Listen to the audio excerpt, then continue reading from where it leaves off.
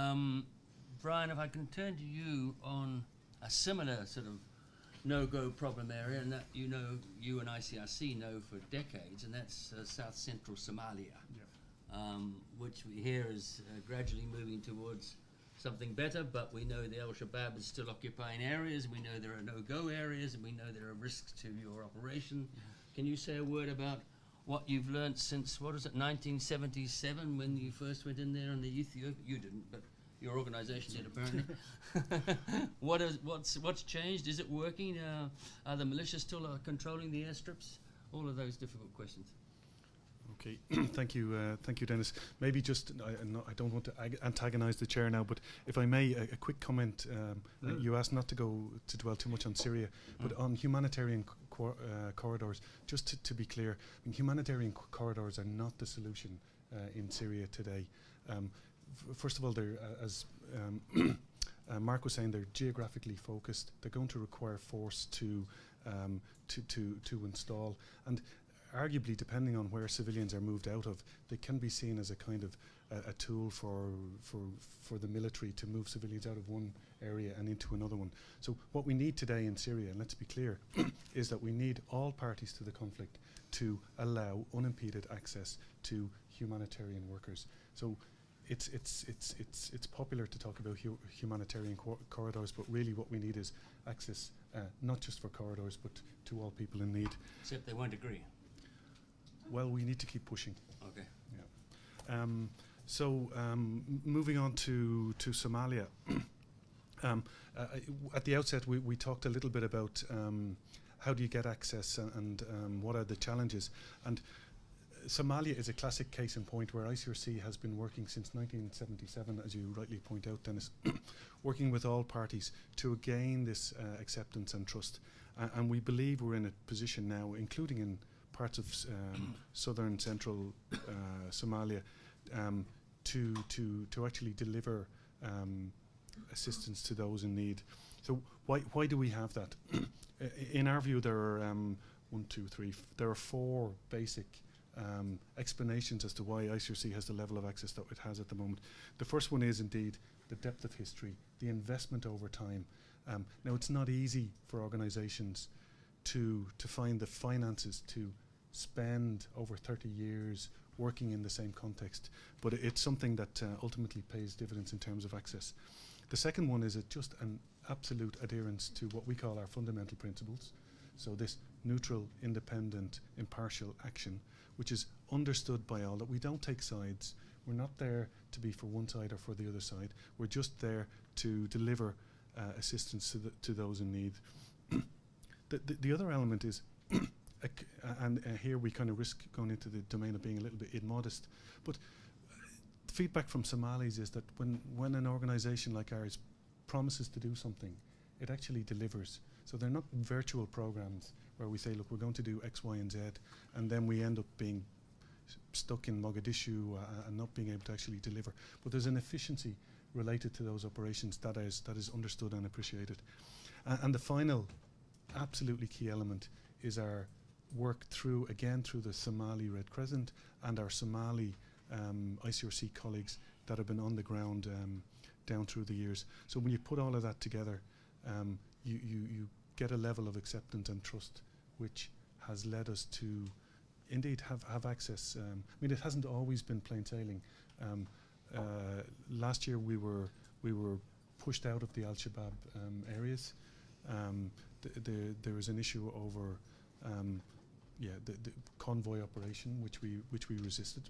So we lost access, but we we maintain the dialogue. We maintain um, the um, the delivery of a response as best we can, uh, and slowly but surely we're now getting access to a point where yeah uh, we're I think we're again one of the few international organisations that has has some um, imprint on the ground. Thank you. Thanks. Um, if I may jump, uh, Sara, over to Marc for a second, and then come back to you, um, both on Afghanistan. Two different issues. Marc, uh, MSF was there. I think you withdrew in 2004, went back in 2009. You suffered uh, attacks, kidnappings, etc. I mean, the question I would like to focus on was something the UN doesn't do very easily, and that is withdraw. wh- when do you withdraw? When do you say enough's enough? When do you say no? The odds are too heavy uh, uh, against the needs. Nevertheless, we can't continue. What? A few words on, on that, and should we be, should the humanitarian system be saying no more often, which it seldom seems to do? Well, uh, you asked that question as if there's some kind of algorithm, uh, you know, or formula where we just plug in a few, uh, you know, a few, you know, context-specific facts, and out pops the answer. Uh, mostly, uh, you know, it is there is always a tension uh, between, you know, sort of the, the the principled members of the organization who really would say that, look, we need to draw a line in the sand here. Uh, and those who are much more pragmatic and driven by that, that humanity and that compassion of we need to be able to, to yeah, the, these people, we can still deliver some aid even if it's compromised. And it, it is in every, it, it is very, very difficult. And I think even with the benefit of hindsight, you, you, it's very difficult to know whether, you know, whether, whether those decisions have been correct or not. And I think, you know, one, one aspect of that is that when you look at it within any given context, within the specific context of Sudan or Afghanistan or somewhere else, you would say, you know, here, right here today, with these compromises, we can get some aid to people who really need it. And the problem, I think, though, is then th- what's the long-term effect? You know, and, and, and what does that do to you know your ability somewhere else in the world to say we're going to stand by these principles? Uh, because you know governments watch when the Sudanese government expels you from uh, Darfur in uh, March uh, two uh, March 2009, as they did two of our MSF sections. You know, what is your reaction, and what does that mean for other governments contemplating the the, the cost, you might say, of uh, you know, of an expulsion. So you know, it, there, it does come back to you know defending those principles, and it's a, it's a you know, it, it's it, it, it's an excruciating discussion inside organizations to decide to leave uh, and withdraw aid, and I, I do think that. Um, to pretend that that isn't a possibility uh, uh, and necessary from time to time, you know, we, we you know, essentially withdrew from Ethiopia in 1984 by speaking in a way publicly that we knew the government would force us out. We withdrew from the camps in Goma, um, and yet we've stayed in other places that have been very, very difficult. In Afghanistan, uh, you know, it, it was the very clearly targeted killing of uh, uh, five of our um, five of our staff on the ground, in combination with also uh, the, the, the, Taliban at the time taking responsibility for it and saying that we were an actor acting in, you know, uh, acting on the side of the West. And, and what that, even though we didn't necessarily believe that the Taliban had were responsible, it's still what does that what does that do to your security and things like that. And then there's also just that the shock of what happened to us and saying no, uh, enough. Um, but then, uh, uh, what about the choice to go back in in 2009, and how do you how do you make that calculation? And again, you know, uh, the the, the, the, um, the starting point for any calculation isn't what's your security risk; it's whether the needs on the ground. You know, what what, what is it? You don't the, the kind of risk you might accept to to to get into South Central Somalia at the time of, of famine and, and food crisis is different from, you know, some kids with some diarrhea and some conjunctivitis. It's it's just our, our assessment of Afghanistan is that outside of, you know, sort of the, the urbanized areas of control of the, of the Western military uh, uh, and, and government, the, the healthcare was, was largely absent, um, and the needs were extremely high. Um, and I, I think what's also i i it, it's kind of an interesting case study because I think it highlights, you know, you really we, we, we negotiated for a long time, and it, you know our negotiations, as you said, I, I think yes, you have to they have to pay off, but it also helped that the situation on the ground changed. And I think you know you, you could find some parallels even in how things are changing a little bit in Somalia now. But essentially, you know the the armed actors in opposition to the government suddenly found themselves controlling territory that uh, didn't have health care in it and had a lot of people in it. And, you know, what happens when that happens? And uh, what ha- one thing that happens is you're suddenly uh, more useful to, the, uh, to those, those very same actors than you were before. Um, so, you know, in Afghanistan between 2004 and 2009 when we went back in, you know, the, the complete the evolution uh, uh, of the conflict, where all of a sudden you had enormous swaths of territory uh, that were uh, uh, now uh, not under control of the government, not under the control of uh, Western military forces, and where NGOs had uh, sort of had to pull back in to very limited areas of functioning, and then the needs on the ground. And you know, one of the questions I would raise about Somalia today is with you know, with um, a newly installed government and, and the attempts now by, in particular, you might say the, the West, to bring about uh, development and to, to, to help create legitimacy around that government, you know, and this word stabilization that we hear a lot of, you know, what does it mean for your aid activities on the ground? Because if, as many NGOs found themselves after a while in, in Afghanistan, if all of a sudden your aid activities are associated with the stabilization agenda of, you know, of the West or of the Somali government, then you will find yourself in opposition to, for instance, Al Shabaab. So. Okay. Thank you. Um, we've only got a few minutes left, so I wanted to ask you, Sara, same country if you if you choose, or, or broaden it.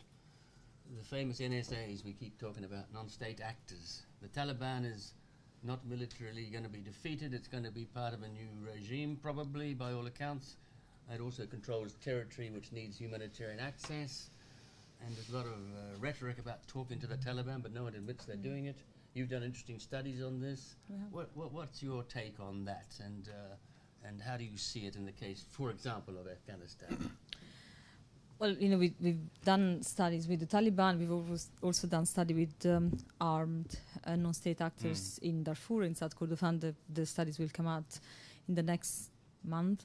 Um, and with Shabab, the study is ongoing. And I think what's coming out of the studies very clearly is that actually um, the, the, the difficulty on the side of humanitarian organizations to engage in, in these negotiations, in this dialogue with you know, armed non-state actors. And this is partly because, to a very large extent, you know, humanitarian organizations don't seem to have experience in humanitarian negotiations. And you know, especially at the level of those who are on the ground and are supposed to you know, engage um, with the, uh, the belligerents on the ground. Um, but also, unfortunately, more often than not, have uh, you know, a fairly limited understanding of IHL. That's something else that you know, comes up uh, more and more.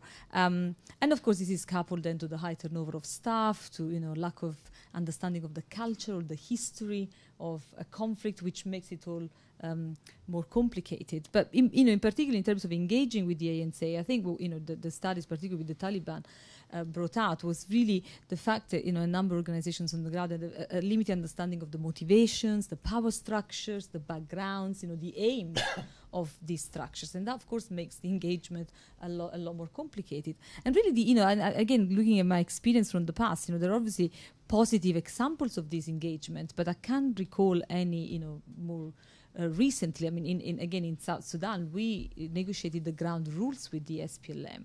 Uh, fact, had a principled framework was called the principle of engagement, which again was was uh, um, signed up by both the government of Sudan and the SPLM. You know, we, we negotiated frameworks to ensure that we had um, something that bound, you know, our engagement with the armed non-state actors. I mean, of course, you know, the, the, the ANCs cannot sign the Geneva Conventions, but you can do something like the ground rules that actually, you know, basically what it was was the SPLM issuing a declaration saying that it would respect the spirit of the convention.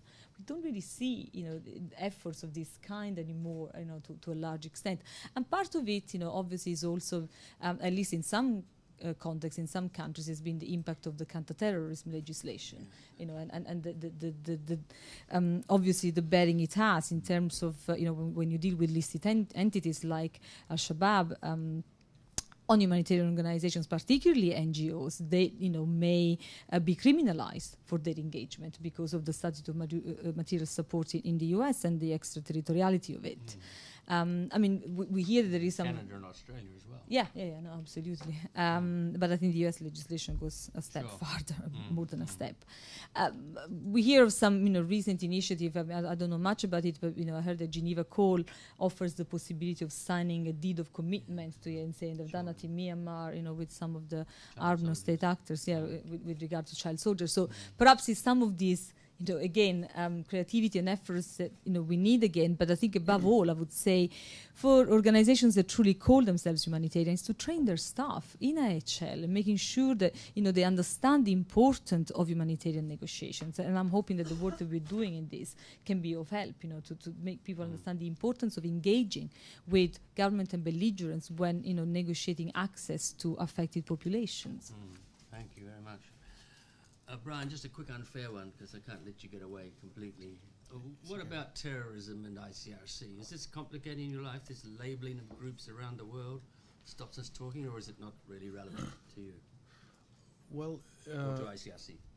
I mean, I wouldn't go to so far as to say it's not uh, it's not relevant. Um, I mean, the, the, the issue for ICRC really, um, if we talk about non-state uh, actors, I mean, the, one of the realizations we've made in ICRC is that after 9/11, for example, with the fragmentation of uh, armed groups and the proliferation of armed groups, non-state groups, we invested huge resources in our networking to to outreach to these groups and to explain uh, the, ICRC modus operandi, et cetera, et cetera. To such a point that today there are some voices in ICRC saying we, we've actually done that to the detriment of dialogue with states in ICRC. So I, I think it was Sara mentioned earlier this the, the increased sovereignty of certain states and this pushback uh, in terms of the um, the involvement of uh, multilateral humanitarian organizations. And there is a th- there's now a job to be done uh, m- as much on the state side as on, as on the non-state side. I, I would say. Yeah. Mm. And we could both be prosecuted for dealing with them, couldn't we? Not the ICRC, but you could. You couldn't. Thank you, we That's true. Uh, All right. Thank you very much. Um, we're a bit over time, but I'll take a couple more minutes if I can from this sector, just to uh, say to Marc and Sara, and then and then you, Brian. Perhaps a broad sort of unfair question. what, what have been? What do you think of as failures of the humanitarian system? If you think back in recent years, if if that's the word, where has it not worked? And is it because we didn't do it properly, or are there really new factors which need? Is it more of the same, or are, are we on the right track, or is it really not not fit for purpose, as they'd like to say, the system? It doesn't seem to make any progress on Syria. it's blocked on Somalia and South Sudan. Doesn't get into Kachin and doesn't get into Baluchistan and Pakistan. Doesn't know what to do. Um, is that just because things are difficult, or is there something something missing there, Marc? What about you from that list of answers you have? Yeah, no, I mean, you know, the first is fit for purpose to ask what's our purpose. I mean, I, I, know what we say our purpose is, um, but uh, you know, there, there, if you look at our design, you might you might really question whether we're fit for, for that purpose.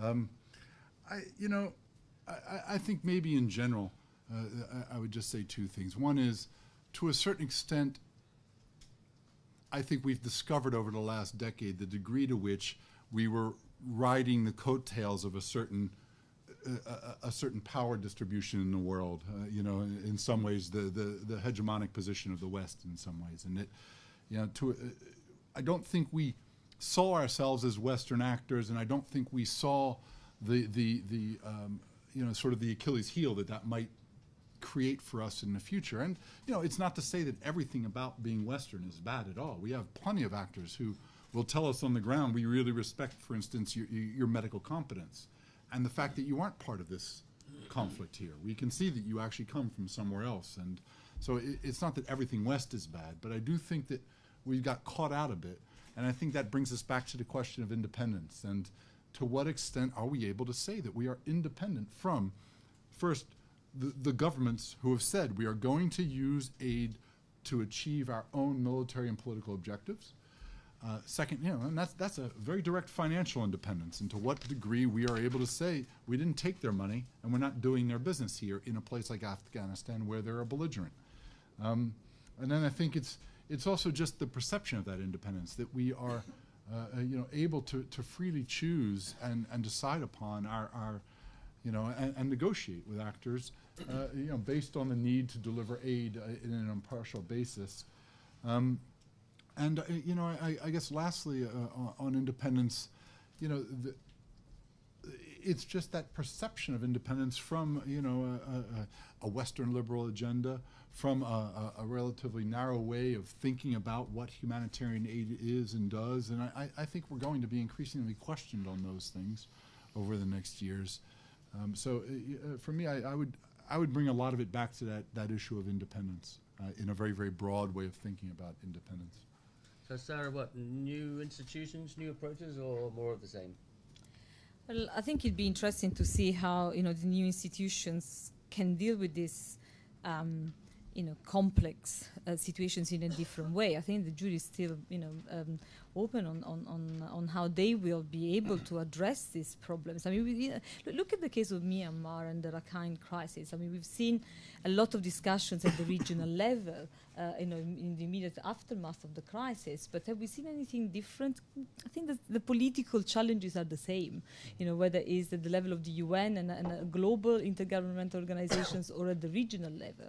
And I think some of the, the regional and national actors um, will probably, you know, as they grow and become bigger respondents and bigger operational realities, will face the same problems. I mean, in many ways, if we go back in time, you know, we've seen the, the most stri striking change has obviously been the creation of DHA and then OCHA. So you have a, an intergovernmental body that you know it, it sort of becomes a coordinator in a context where you know previously the leadership was you know that of the ICRC. They obviously had a neutral position um, in terms of negotiating between particularly government and armed non state actors. Now you have an intergovernmental body that proposes itself also, you know, in terms of um, a, a, body that can advance some of, of these negotiations also on behalf of other actors. And that is, I think, changed quite a lot of um, you know the, the, the, perceptions of you know who is operating in what way and what really humanitarian organization is. And in addition to that, of course, you've had a massive uh, proliferation in the number of uh, organizations on the ground, and that has been you know. um, over the last 20 years, and going forward, there'll be a lot more, you know, proposing to um, to engage in a different way. But I, I think finding it difficult ultimately when it comes to um, dealing with the same challenges in terms of you know the need for political solutions, the need for um, addressing you know the complexity in an impartial um, way uh, on the ground. I, I, don't think you know it's going to be any easier for, for, for the new actors, so called. So, Marc, some people say that Geneva Conventions are honoured in the breach more than the observance today. Is that unfair, or is there something missing in IHL and its lack of sanctions? What do you think? Well. I mean, the issue with uh, with international law, uh, upon which I'm not an expert, but the the basic uh, issue with humanitarian law is that uh, even in today's modern warfare, the issue is not so much with what's in the law. The issue is more about adherence to applying applying the law basically is, is what we would say. So no, the, the Geneva Conventions, in answer to your question, Dennis, they're as relevant today as the day they were written.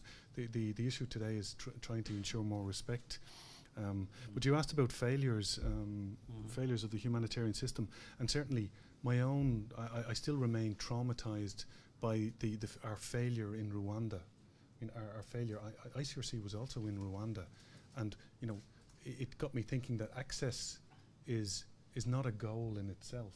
I mean, essentially, uh, when you look at it, I mean, ICRC was there to, to bear witness to, to genocide uh, in in uh, in Rwanda, um, when you look at um, Bosnia Herzegovina and th- you know this concept of safe havens, and clearly again it's a complete failure. Mm. Um, so um, yeah, other failures. Th- th- this kind of temptation to go for a short-term fix uh, instead of the long-term solution. Um, also, you know, when we look at our own failures in ICRC, we were discussing Sean and I with um, about Ethiopia earlier, and um, at the time of the Ethiopian-Eritrean war, ICRC went cross-border without permission from the from the government, um, and it gave us a level of access that um, provided a response at the time. But then um, we went cross-border with the permission of the government in Khartoum um, from the Sud Sudanese side. But fast forward to then going back to the same government and asking for permission to to go to South Sudan um, in full transparency, as we say. And they said, well, look, you're not you're not fully transparent because we know what you did uh, on on the other side of the of the border. So no, um, uh, access is blocked. And we learn from that, and therefore we now have the approach that says, okay, we don't do cross-border. We, we, we try to have a coherent approach where what we do in Syria is the same as what we do in Myanmar uh, and other places. Mhm. Um, just a, a final comment, if I may, on there's a lot of talk about the humanitarian system, um, and the, um, the, the the issue for us in this is that there isn't one humanitarian system, uh, and it's a bit kind of misleading for us to talk about humanitarian system. I mean, we've got we've got a uh, an interagency standing committee system of pr- predominantly Western um, uh, humanitarian agencies, but we've got this huge um, wealth of what's called non-traditional actors, which is a phrase that I particularly uh, don't subscribe to because I think if you ask the Turkish Red Crescent, you know, are you a new non-traditional actor? They'll probably say, well, you know, we've been around and active for at least 20 years. Um, but there is this whole um, new um, uh, non-traditional people, and we don't really understand what they're doing and where they're doing and what level of access.